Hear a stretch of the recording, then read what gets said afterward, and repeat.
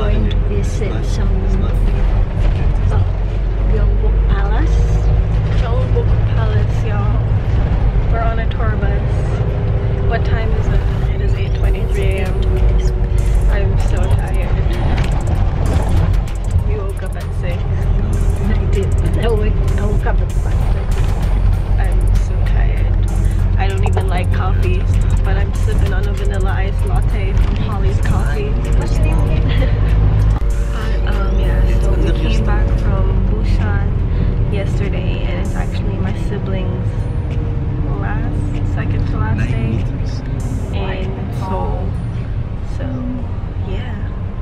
get it.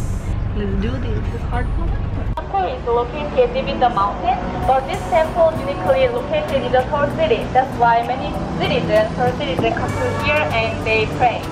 So when you see there,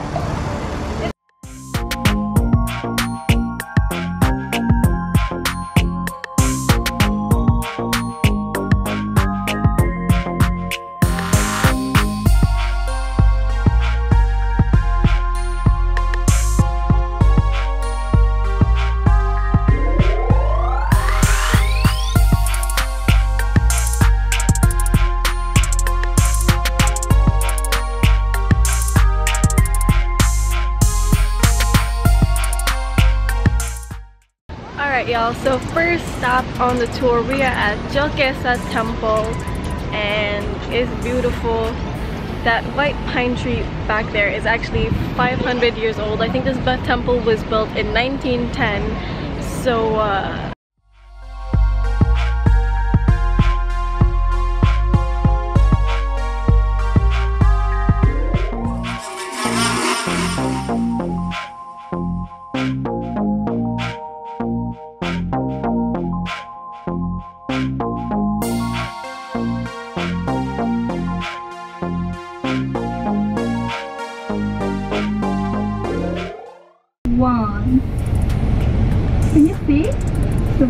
there? Yeah, so that is the blue house. And can you guess why the name is blue house? Blue. Yeah, because the high color is blue. It's like a White House in US. Yeah. So we have the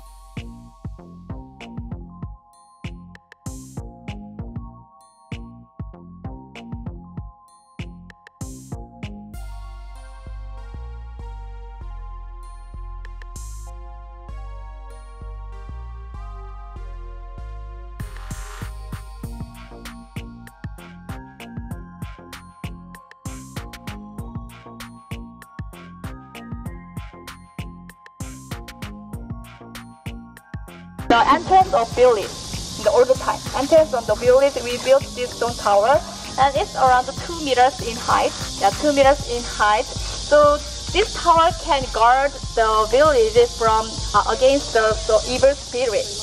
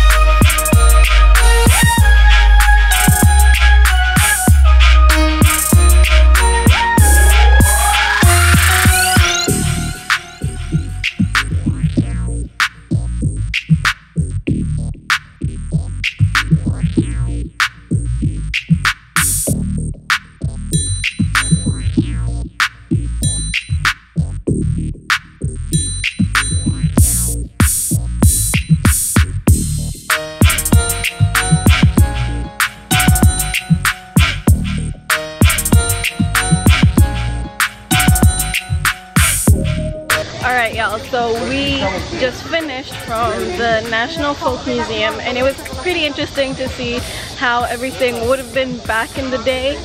And uh, I just love me some history, but let's get it, let's get to the next location. Do it!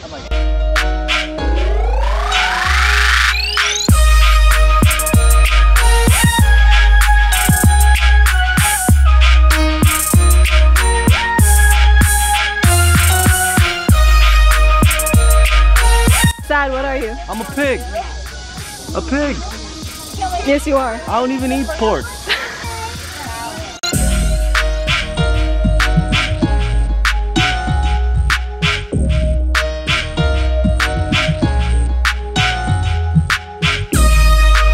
Alright y'all, we at the next location, Gyeongbokgung Palace, one of the biggest and the main palaces in Seoul. Let's get it.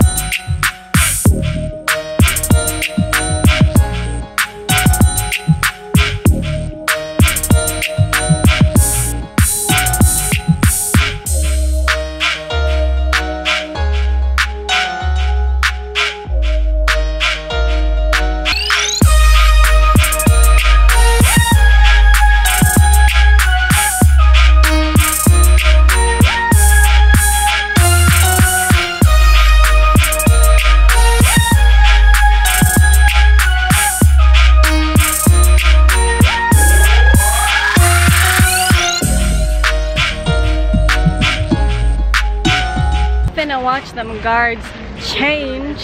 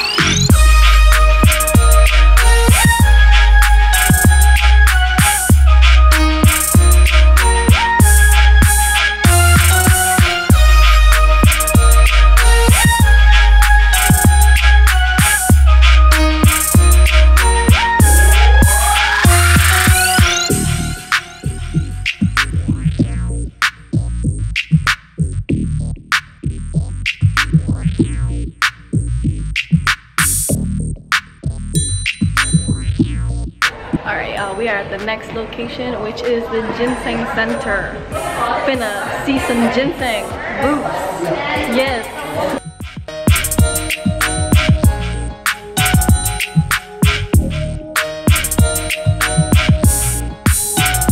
Alright y'all, so we actually finished half of the tour because we only booked for a half day. So we finished around like 12ish and it's 5 o'clock now. we just went, went around.